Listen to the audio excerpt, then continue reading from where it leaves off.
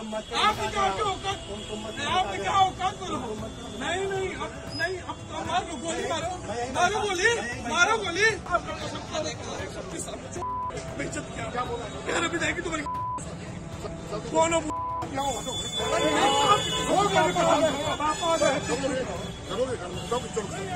चलो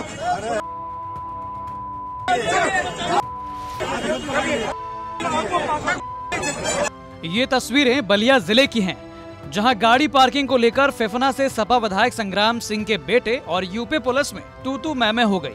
मामला तब और बढ़ गया जब खुद बेटे का पक्ष लेने सपा विधायक ग्राउंड पर आ गए। पुलिस के ओसी अधिकारी को लेकर बैठ गए और बोले, आओ, दिखाओ कौन हमारी विधायकी कहाँ क्या करने वाला था। लेकिन उससे पहले मामला क्या है वो समझ लीजिए। विधायक संग्राम सिंह यादव के बेटे ने गुरुवार, यानी 27 अक्टूबर की शाम, अपनी लग्जरी गाड़ी रेलवे स्टेशन के सामने पुलिस पिकेट से सटाकर खड़ी कर दी थी। अधिकारी ने बताया कि पुलिस पिकेट के बाहर कुर्सी पर बैठे कोतवाली प्रभारी प्रवीण कुमार सिंह ने विधायक के बेटे से गाड़ी हटाने के लिए कहा, जिसके बाद दोनों के बीच वाद विवाद शुरू हो गया था। अधिकारी के मुताबिक, विवाद ने तूल पकड़ लिया और थोड़ी देर बाद सपा विधायक भी अपने बेटे के पक्ष में मौके पर पहुँच गए और शुरू हो गया महासंग्राम। क्यों औकात आपने क्या औकात बोलो नहीं नहीं, अब नहीं, अब तो मार, गोली मारो। मारो गोली मारो गोली। आपका कसम खा देगा बेइज्जत किया? क्या बोला? कह रहे तुम्हारी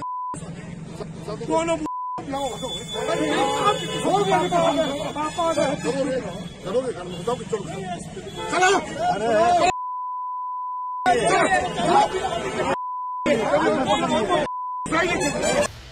बताइए यहाँ लाख कोशिश करते रहे सपा विधायक और विधायक के बेटे उस अधिकारी पर दबाव बनाने का लेकिन अधिकारी भी ठेठ निकला। कहते रहे सब कुछ ठीक है लेकिन हाथ मत पकड़िए। उनके साथ मारपीट किए और इन मूर्तियों को तोड़ने के लिए उनको दबाव डाले। इस एप्लीकेशन के आधार पर। आपको बता दें कि इस पूरे मामले में वरिष्ठ अधिकारियों ने जाँच के आदेश दिए थे और अब शहर कोतवाल की तहरीर पर सरकारी कार्य में बाधा पहुँचाने सहित 341, 186, 353, 506 आईपीसी के तहत मुकदमा दर्ज कर लिया गया है। बलिया से अनिल अकेला की रिपोर्ट यूपी तक।